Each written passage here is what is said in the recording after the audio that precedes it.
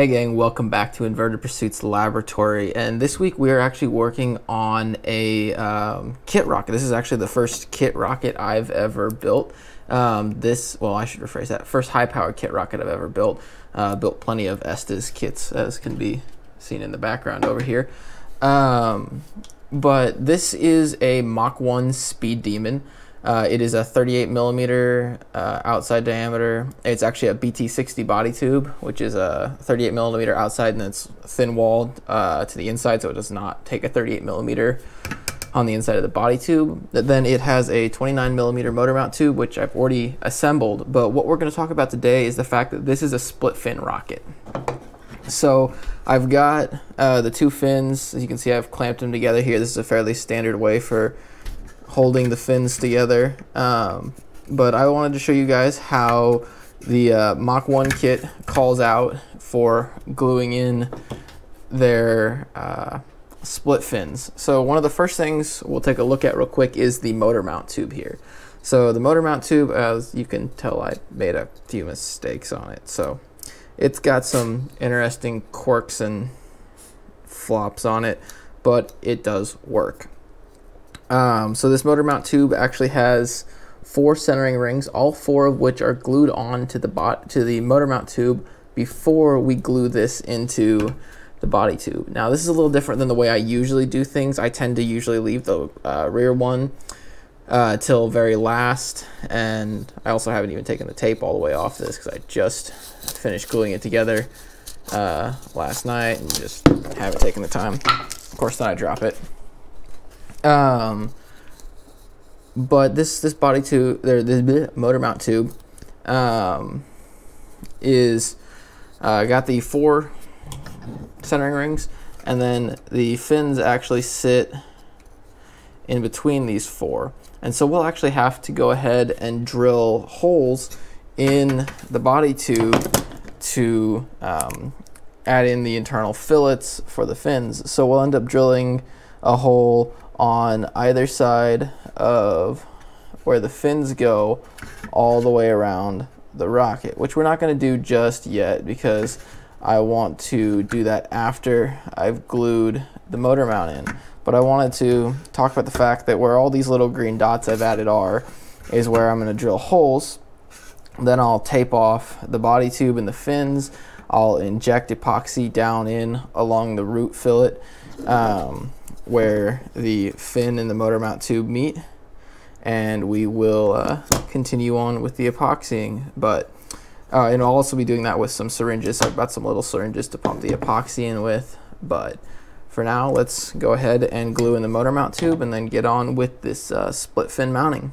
Um, if you can see we have uh, glued the motor um, mount in place so it's fully in there and the fin slots have a little bit of cleanup they need here and there, but what we're gonna go ahead and do is where I marked all these green dots, and they're hard to see. Look at little green dots here next to every fin slot. That's where I'm actually gonna end up injecting the epoxy once the, uh, the fins get uh, tacked in place so then I can actually glue the root fillet in there. So let's go ahead and drill these holes and do a little cleanup on the whole get up.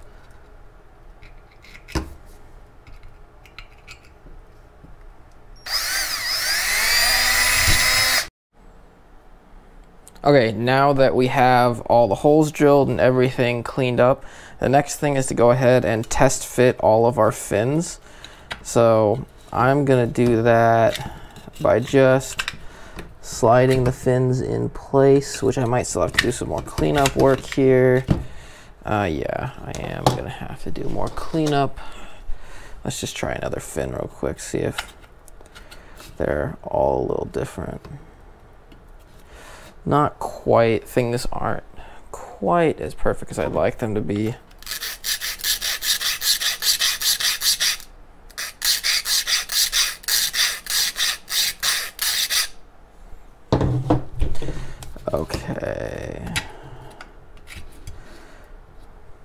I'm going to end up making every fin pretty much a custom fit.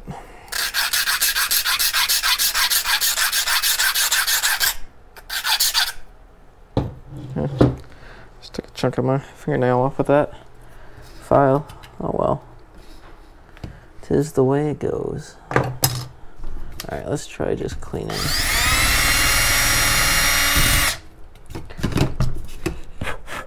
That up a bit more.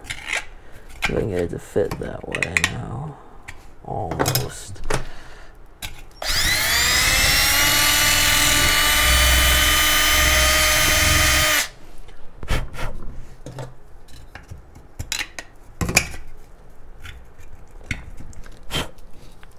All right, that's one uh, out of a lot of fins to get to fit. So the next one is that back one. And now we make the fins actually stay in place with these uh, popsicle sticks. So I popsicle stick either side as you saw on my other fin set. And then I'm clamping them together to keep them perfectly square to one another. And I'm gonna do this on every single fin set all the way down. All right, let's get to this next step of gluing. So pull all the fins out. This might be a slight struggle. So I'm just gonna take, like I have many times before on my channel, and just run a little bit of epoxy on this edge. And I always make sure that I am uh, using my epoxy wisely because epoxy can be very expensive. So I'm very particular about when I mix up a batch of epoxy that I'm going to have enough work to finish it all off. Uh, which today I don't perfectly have enough to finish off my entire thing of epoxy, but dang am I close. Oh, I like to go ahead and take my fins my fins jigged up and set them upright. So I actually have it standing upright on the table. My fin jig guarantees that all the fins are going to be square around the exterior of the body. And then the popsicles ensure that the uh, rear fins will be perfectly in line with the forward fins. So with that, we have the initial step here, and my fins are actually attached, which is a huge deal. Um, I'm kind of amazed they're actually attached. All right, so it is now the next day and the glue is dry, so I can remove my alignment jig that kept all my fins at 120 degrees. And now I can remove all of these glorious clamps and get a look at, let's set that down. Get a look at the rocket in all its glory. So the next thing I'm going to do is I'm actually going to check all of these holes and make sure they are all clear of epoxy since I'm actually going to be filling through those little sprue holes. Okay. Um, I'm going to need my coupler section here and the upper body section. Okay. So I'm using the upper body section a coupler to extend it back so that I can get my fins hanging off the back end here. I'll back that up real quick before I go ahead and start messing with uh, epoxy and tape and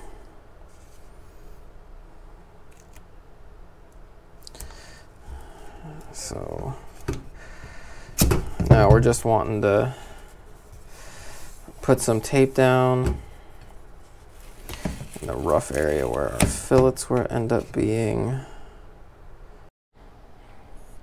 All right, now we take our syringe full of epoxy and we go in these, oh, so tiny holes that I'm now realizing are not very big.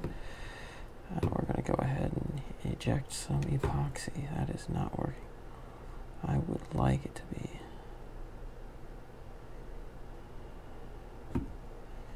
Which is actually running on the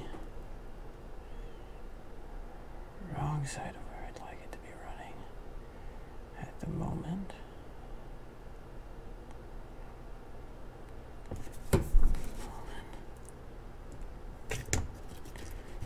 Okay.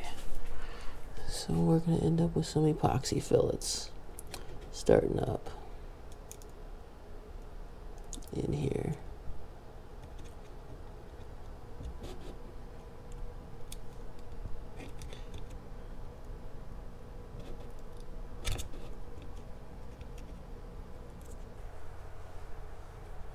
All right, so we are back. I have finished doing all of the uh, internal fillets and I have gone ahead and removed the tape, cleaned a bunch of stuff up, and I've actually put new tape down.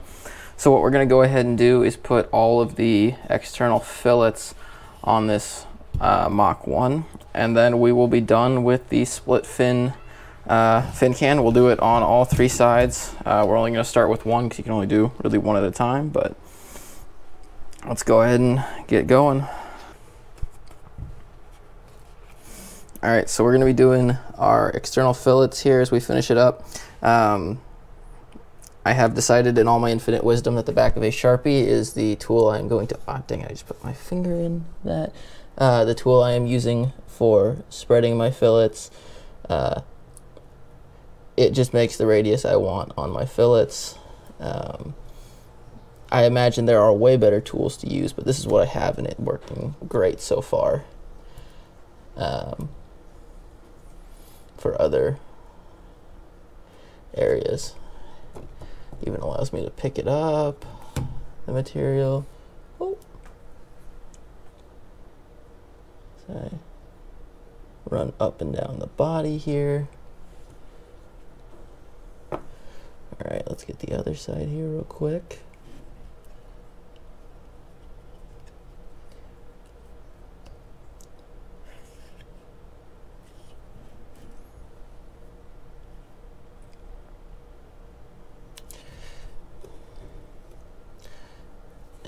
See how this goes. All right. And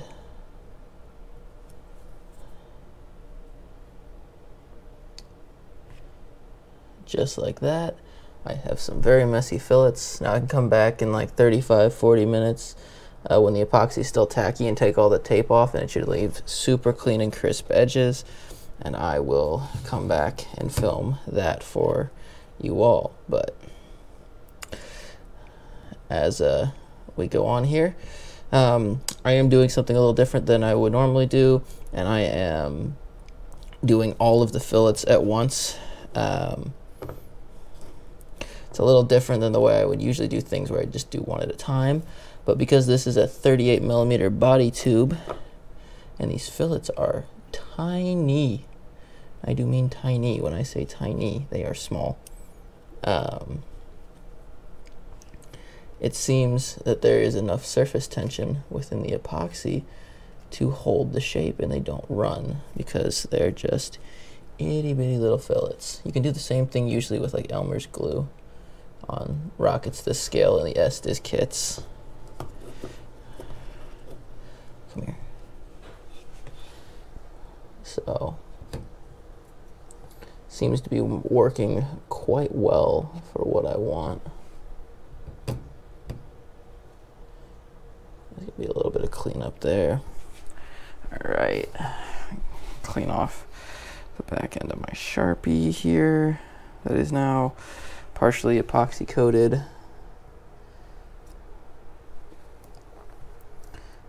And then do a quick once over.